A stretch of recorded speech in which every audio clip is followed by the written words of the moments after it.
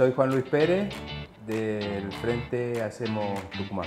Soy Alejandra Reyes, tengo 29 años y soy candidata a intendenta por el Frente de Izquierda. Hola, soy Nadima Pechi, candidata a intendente de Fuerza Republicana por la ciudad de San Miguel de Tucumán. Mi nombre es Fernando Valdés, soy candidato a intendente de la ciudad de San Miguel de Tucumán. Yo soy Ángel José Paliza, eh, soy candidato a intendente por el Movimiento Socialista de los Trabajadores Nueva Izquierda. Me llamo Marta Maribela Libes, soy candidata a intendenta por el MIG Tucumán.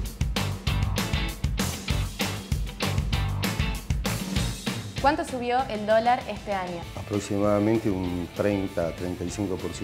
Un 50-60%. Alrededor de 5 pesos. Está en 48 y subió, estaba a la mitad. No, ni idea. De 20 llega a 45. ¿Cuántos habitantes tiene Tucumán? Un millón y medio más o menos. Un millón ochocientos. Un millón y medio. Te puedo decir que en el padrón hay 1.200.000 habitantes.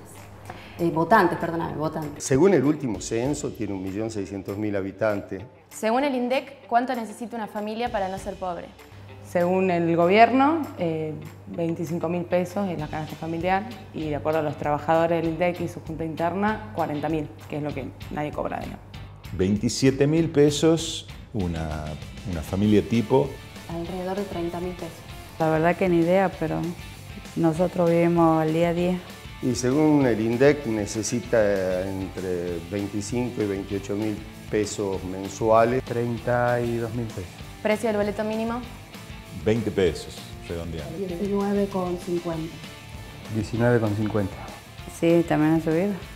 19 pesos con 30. Cerca de los 20 pesos. ¿El delito que más creció en este último año? El robo. El asalto. El moto arrebato. Los motos arrebatos, digamos.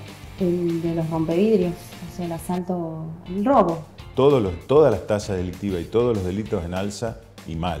¿La cifra de desempleados en Tucumán? La juventud, un 50% de desempleo. El 34% de la población activa era el porcentaje de desempleados. ¿no? Casi el 10%. No, la verdad que no sé. Hay más de 30.000 trabajadores desocupados, considerando eh, solamente aquellos que están buscando trabajo. Es altísima, no tengo el dato preciso, pero es alta la, la- la cifra de desempleo.